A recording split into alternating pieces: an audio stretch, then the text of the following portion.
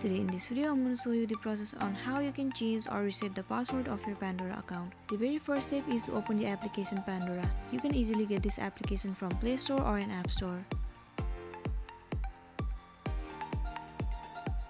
You'll be landing on this page.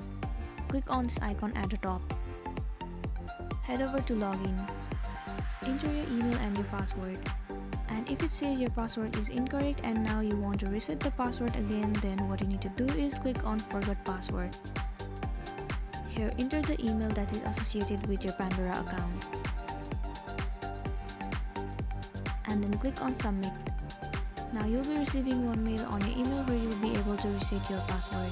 So go back and move into your Gmail. There you can see that you have received one mail from Pandora. Click on it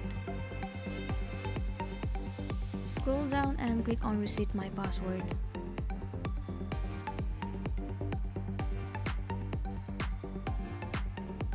It will lead you to this page. Here you need to create one new password for your Pandora account. Once you are done creating a new password, you need to re-enter the password here once again. And when you are done, click on save. So there you go, your password has been changed successfully. Now you have to re-enter the email and the new password you have just created. Now you can use this application smoothly. Well this was for today and this was a tutorial video on how to reset the password of your Pandora account. I hope you found this video useful. Thank you for watching it till the end.